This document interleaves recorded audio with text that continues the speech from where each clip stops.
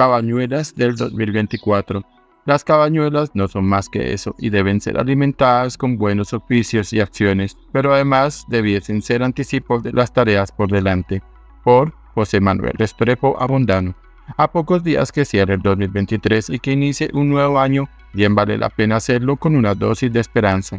Prefiero eso a referenciar las dificultades y problemas, que no han sido pocos, a lo largo del año en curso.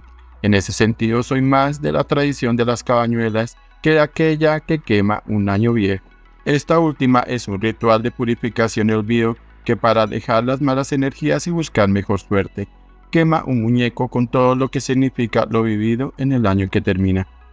La otra tradición, la de las cabañuelas, es una de las que los campesinos, viendo el clima los primeros días de enero, intentan anticipar lo que sucederá a lo largo del año.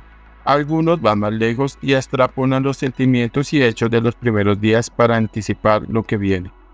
Siguiendo esta tradición me permito cerrar con una dosis de optimismo a partir de tres noticias de cierre de 2023 para que nunca perdamos la esperanza. La primera fue la decisión del Banco Central de bajar 25 puntos básicos las tasas de política monetaria, signo de una reducción de la inflación esperada y de que se es consciente de que ellas deben bajar para animar de nuevo el crecimiento económico. La segunda fue la exitosa finalización de la subasta 5G y con ello buenas noticias para las telecomunicaciones, una manera a través de la cual Colombia podría dar un paso adelante en materia de competitividad y productividad. Y la tercera es la expresión del sentimiento de los colombianos medida por el Centro Nacional de Consultoría en la que el 66% de los colombianos se sienten felices de cara al 2024, a pesar de que el 51% de ellos considera que el año 2023 fue muy difícil económicamente y que un 43% sintió un retroceso. 71% considera que el 2024 será un año mejor, lo que supone una dosis de esperanza. Dicho de otra manera, los colombianos siguen siendo felices, son optimistas y quieren salir del hoyo.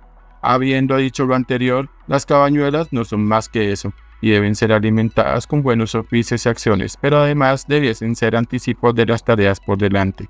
La reducción de las tasas por su parte del Banco Central no es suficiente para motivar la inversión y debe ser alimentada con certidumbre, seguridad física y reglas del juego claras al sector empresarial. El éxito de la subasta 5G muestra el indispensable papel del sector privado para que al Estado le vaya mejor y que sin él la inversión seguirá postrada. Es la ratificación de la urgencia de consensos, acuerdos y escucha al sector privado al proponer reformas y política pública.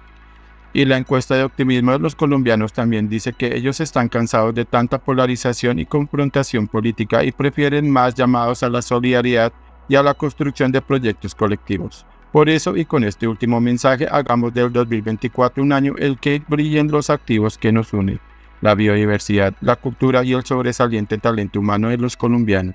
Les deseo un feliz año 2024.